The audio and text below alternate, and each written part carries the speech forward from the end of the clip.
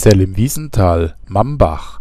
Aus unbekannter Ursache fingen nach Mitteilung der Polizei am Montag, den 13. Februar 2023 gegen 14:15 Uhr die gelben Säcke in einem Müllwagen auf der B317 zwischen Zell-Atzenbach und Mambach kurz vor dem Ortseingang Mambach an zu brennen. Der Brand konnte durch die Feuerwehrabteilungen Atzenbach, Mambach und Zell gelöscht werden. Die gelben Säcke wurden teilweise aus dem LKW entfernt und draußen und im Innern des Fahrzeuges gelöscht. Ein Feuerwehrmann wurde bei dem Einsatz leicht an der Hand verletzt. Es ist noch nicht bekannt, ob am LKW Sachschaden entstanden ist